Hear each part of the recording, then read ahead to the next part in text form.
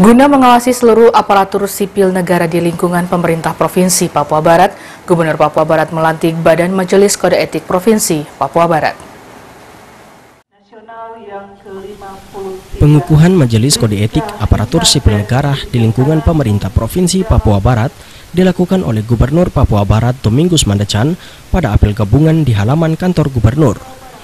Pengukuhan Badan Majelis Kode Etik Papua Barat dilakukan untuk mengawal, mengawasi, dan mengingatkan seluruh ASN di lingkungan pemerintah Provinsi Papua Barat agar dapat melaksanakan tugas dengan baik sesuai visi dan misi pemerintah Provinsi Papua Barat.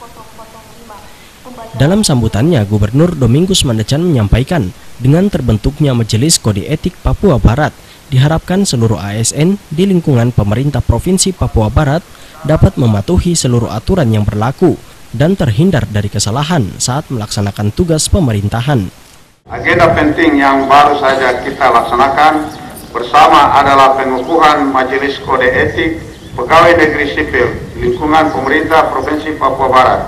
Dengan demikian, pemerintah Provinsi Papua Barat telah memiliki Majelis Kode Etik Pegawai Negeri Sipil di lingkungan pemerintah Provinsi Papua Barat yang Berarti setiap pegawai negeri sipil tidak boleh lagi berbuat semaunya atau seenaknya, tetapi setiap perbuatannya diawasi oleh peraturan perundang-undangan yang dikawal oleh pimpinan aparat pengawas internal pemerintah, aktif dan majelis kode etik Gubernur menambahkan bagi pegawai yang malas masuk kantor dan bekerja, pemberian teguran akan disampaikan sesuai aturan kepegawaian yang berlaku.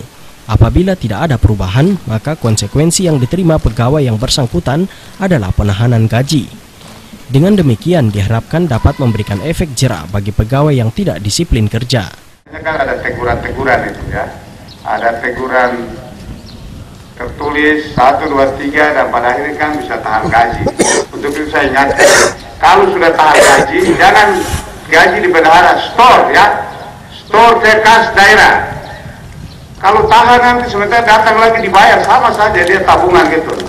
Tidak kerja tapi uangnya ditabung gitu.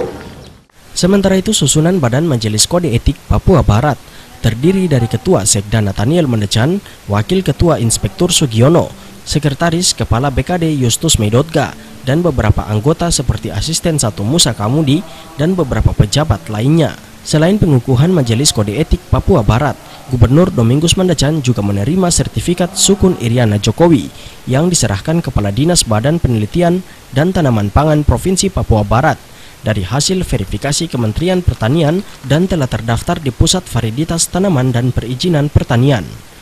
Jimmy Tabisu mengabarkan.